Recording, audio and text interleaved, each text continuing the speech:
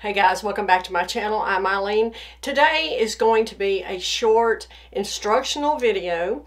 I could not wait to add some curl to this wig. This is my Eileen wig. I have a review on it already. I'll link it below. But this is from Push Hair from Wig Studio One. This is 100% Remy European human hair.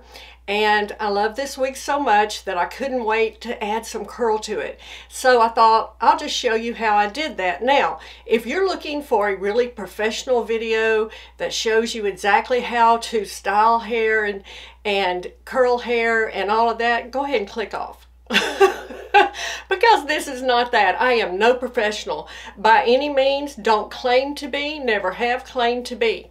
However, I do like to style my wigs.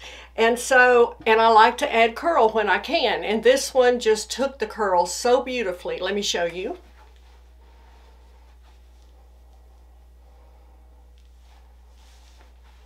Now, if you've seen the Eileen wig over on the Wig Studio One website, it comes straight and I added this curl and I'm going to show you how I did it. I have a little video that I'm uh, going to insert and show you how I did it but I wanted to show you the tools I used. First of all I sprayed it with the Jon Renau Heat Treat Thermal Spray.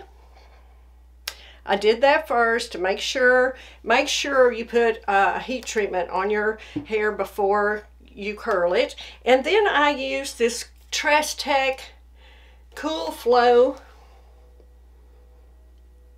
I think this is so neat. It was really super easy, much easier than I thought. I purchased this with my own money from Wig Studio One, and they have a bundle. And you can get this, and I think it comes with a couple other uh, products. I will link it up here, and I'll also link it below so you can check that out. I think they have a deal going on on this bundle right now, but this is the tool I used. Just make sure you see that. And it has this fan on it. So it cools the curl at the same time, makes it hold the curl. Uh, it's cool right away when you let it go. You don't have to hold it. You don't have to do anything. It's amazing. So that's what I used. So if you want to see how I did this, just keep watching.